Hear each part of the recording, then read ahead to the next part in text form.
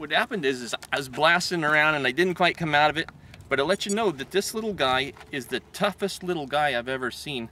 And these props, they're uh, from a little quadcopter. And you see how flexible those props are? And uh, this head's got this shock absorbing head. So he's just tough, tough, tough. Um, even this is my first prototype. I've probably put him in, uh, you know, landed him hard, you know, 10, 20 or 30, 40 times and he still keeps going. Um, it's just, I love this plane. I'm gonna blast him around some more.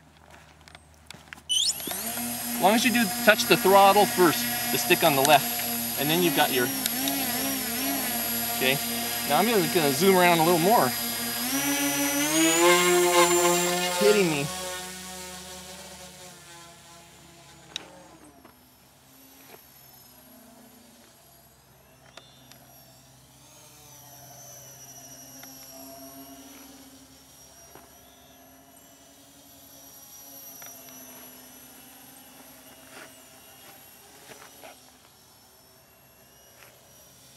Now he handles nicely, and when you want to kick it, just bang.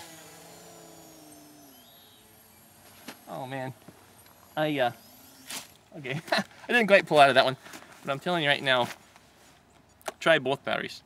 Try the 7 volt battery, try the 11 volt battery, and uh, either way you're gonna have twice as much thrust, but with the 11 volt battery you're gonna have three times too much thrust, and you really feel superheroes. Thank you very much. Greg Tanous.